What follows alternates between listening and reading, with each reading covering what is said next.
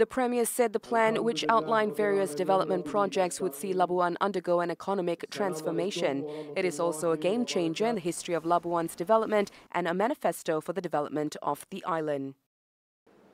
Blueprint yang baru ini menggariskan projek-projek pembangunan utama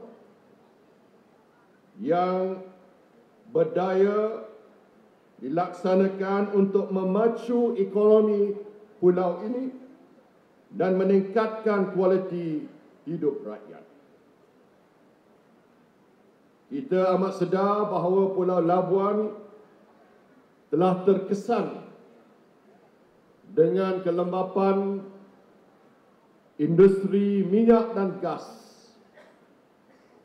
Walaupun kebelakangan ini ada pemulihan harga minyak tetapi tak mungkin paras yang pernah dialami sebelum ini dapat menjadi kenyataan.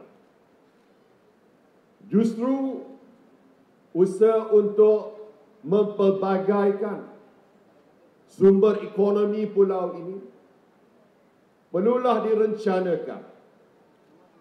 Kalau tidak, Pulau Labuan tak mungkin dapat mara ke hadapan setanding dengan tempat-tempat yang lain.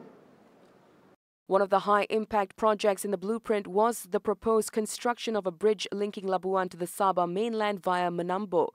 Datuk Sri Najib stressed that the federal government would have no objection to approving its construction if the bridge would be a catalyst for the economic transformation of Labuan. He also hoped that the people of Labuan would continue supporting Barisan Nasional and hopefully construction of the bridge can be launched after the 14th general election.